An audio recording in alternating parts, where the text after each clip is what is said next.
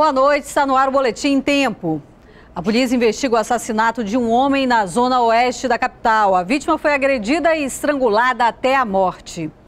O corpo do ambulante Maridelson Pereira, de 43 anos, foi encontrado nesta casa, na rua São Gregório, no Parque São Pedro. De acordo com testemunhas, a última vez que a vítima foi vista foi em frente à vila onde ele morava e ele estava acompanhado de dois homens.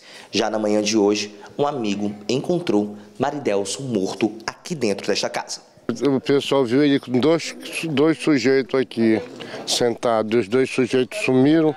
Que horas ontem? Isso aí, eram umas 10 horas que estava aí com dois, dois sujeitos. Aliás, que eles moram até irmão daqui dessa mulher desse quarto. Os moradores disseram ainda que a vítima estava com uma quantia em dinheiro em casa que não foi encontrada. Segundo a perícia criminal, Maridelson sofreu agressões pelo corpo e foi estrangulado. Ainda não se sabe a motivação do crime. A especializada em homicídios e sequestros investiga o caso. Mais de 3 mil bebês prematuros receberam doações de leite nos nove primeiros meses deste ano aqui no Amazonas. Mas com a chegada do fim do ano, a preocupação é que o número de doações caia em pelo menos 30%. O bebê de Dayana está há um mês na UTI. Ela tira o leite para amamentar o filho e o que sobra doa para as outras crianças. A importância de doar é porque ajuda bastante o desenvolvimento para ele, mas só que ele mama pouco. Então meu, eu produzo muito leite e acaba que eu tenho que doar para as crianças né, que precisam, né, que tem mãezinha que não sai o peito do leite, entendeu?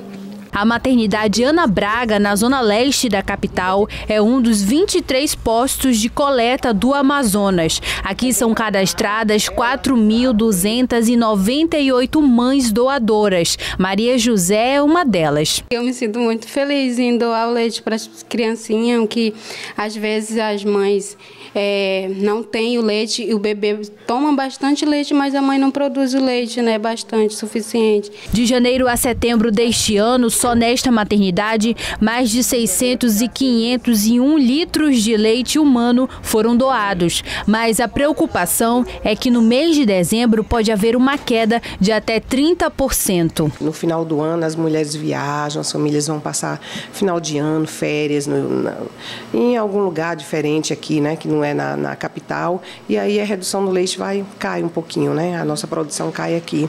E assim, a gente a preocupação é de não faltar o leite para os bebês que estão na UTI, que precisam realmente. O leite materno protege os bebês contra doenças como diarreia, desnutrição e até infecções respiratórias. Mas antes de ser distribuído para os recém-nascidos na UTI, o leite passa por um processo de análise. Esse leite é analisado, esse leite passa por uma, uma bateria de exames, a gente vê a qualidade do leite, a gente vê se tem corpo estranho ou não, a acidez do leite, quilocaloria do leite, o tipo de leite, esse leite é pasteurizado, é analisado e é distribuído para todo o estado do Amazonas. Na capital existem três bancos de leite que funcionam de segunda a sexta, das 7 da manhã até as 7 horas da noite. E o nível do Rio Negro, que subiu na semana passada, baixou nos últimos dias. Segundo os especialistas, ainda é cedo para falar de cheia e podemos estar vivendo o fenômeno do repiquete, quando o rio enche, seca e volta a encher. Na casa desta dona de casa, as marcas da cheia do ano passado. Tem que levantar as coisas, fazer maromba, levantar as coisas para não. a água não estragar as coisas, né? Todo ano é assim, né? Todo ano é assim. Mas é bom ficar em alerta. Na semana passada, o Rio Negro encheu um centímetro por dia. O Rio Negro, como ele fica, é um rio de grandes magnitudes, fica muito próximo aqui em Manaus, a confluência com Solimões, que é um rio também de grandes magnitudes, ele é um rio muito estável. Então, a partir do momento que no dia 6 de agosto ele estabilizou e começou a subir, a gente considera já que é o fim do processo de vazante, que quando a gente tem o mínimo, o dado mínimo desse ano, a gente já considera que é o começo do processo de enchente. Assim que um encerra, o outro começa. É, mas de sábado até ontem parou na cota de 17 metros e 79 centímetros. Nesta terça-feira baixou mais um centímetro e fechou o dia em 17 metros e 78. Até os especialistas dizem que é muito cedo para falar em cheia.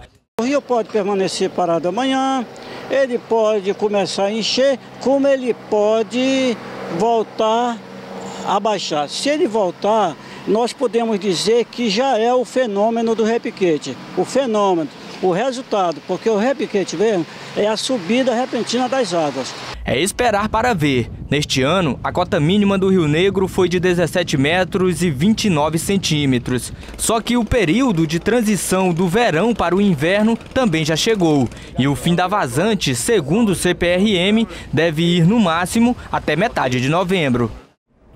E hoje foi lançado um projeto de capacitação para os servidores públicos do Amazonas. O projeto Escola Governar desenvolve ferramentas para melhorar o trabalho dos servidores. A Escola Governar traz é, para o momento é, um programa de, de, de qualificação gerencial, operacional, que atenda às demandas de formação dos nossos servidores. A gente tem, e a premissa mais importante é a premissa do empreendedorismo público, buscar fazer mais com menos menos, que é essa a nossa realidade. O curso tem parceria com universidades aqui do Amazonas. Isso se revertirá em resposta na ponta ao nosso usuário, a quem destina-se todo o serviço público. A nossa população estará melhor atendida porque o problema vai sendo atacado na origem, na educação. E esse investimento em inovação, em qualificação, valoriza o servidor público, a servidora pública do Amazonas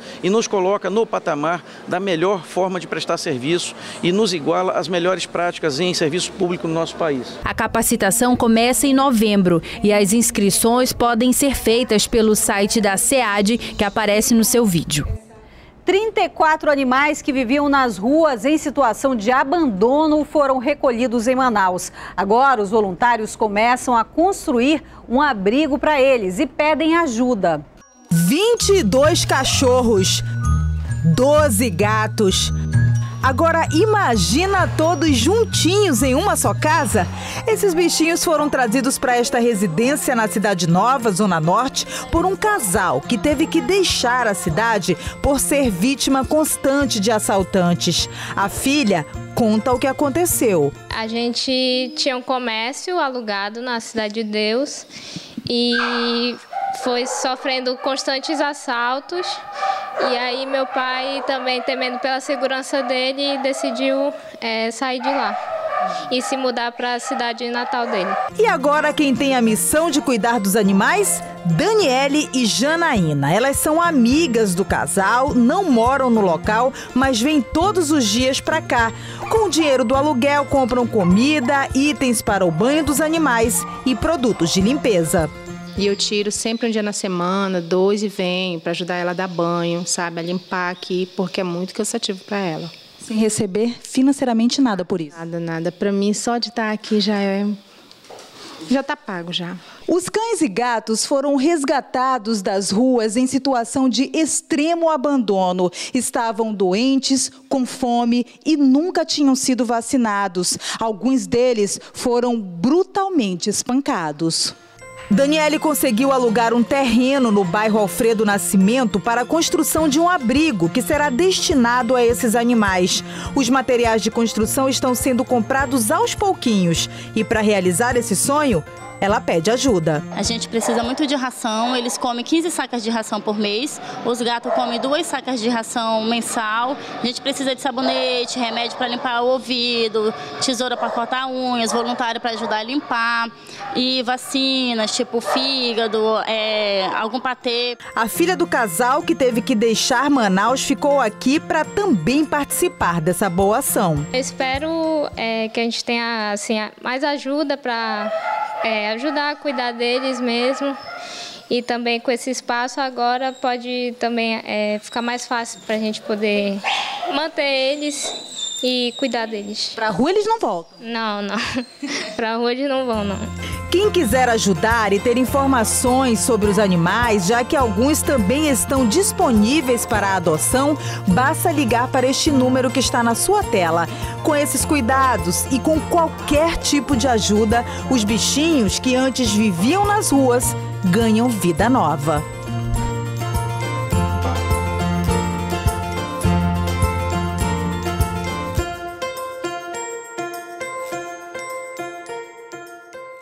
Eu sou Marcela Rosa e esse foi o Boletim Tempo.